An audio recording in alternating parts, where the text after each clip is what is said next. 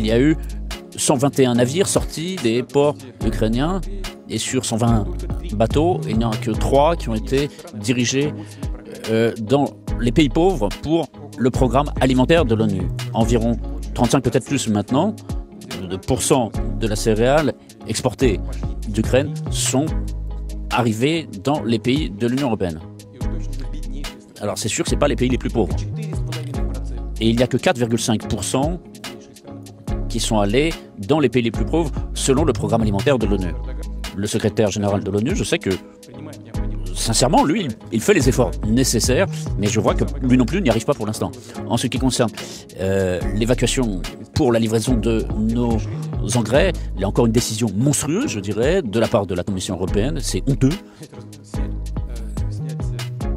Lever les interdictions sur l'achat de nos engrais, mais seulement pour les pays de l'Union européenne. Et alors les pays pauvres, qu'est-ce qu'ils font?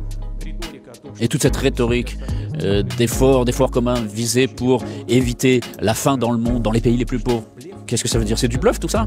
C'est simplement pour satisfaire leurs propres intérêts égoïstes, alors que ce sont des problèmes qu'ils ont créés eux-mêmes dans leur domaine et cette question alimentaire, cette question énergétique aussi, tout cela, c'est eux qui l'ont fait. Et donc maintenant, ils résolvent cette question euh, aux dépens des autres. Alors j'espère que le bon sens va triompher, et notamment euh, au sein de la Commission européenne, pour corriger cette situation. Je considère que c'est une erreur, et c'est la même chose euh, sur l'exportation des engrais russes. Regardez, la Biélorussie est un des plus grands pays producteurs d'engrais au monde. Alors, on a levé les sanctions euh, contre nos engrais. D'ailleurs, les Américains ont été le premier à le faire. Donc, il y a eu des levées de sanctions contre nos engrais. Mais le problème, c'est qu'on ne peut toujours pas les affréter, les assurer.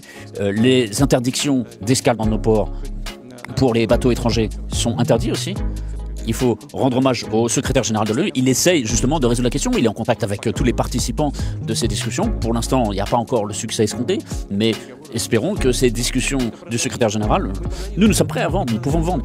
Et nous vendons tous nos produits. Il y a un, débouché sur le marché, c'est clair.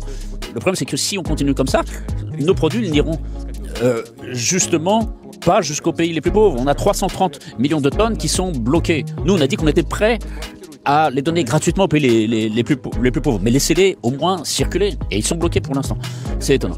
Donc ils veulent pas que la Russie gagne de l'argent. Mais si on les donne gratuitement aux pays pauvres, on ne va pas gagner d'argent. Alors pourquoi ils font ça? Je comprends pas.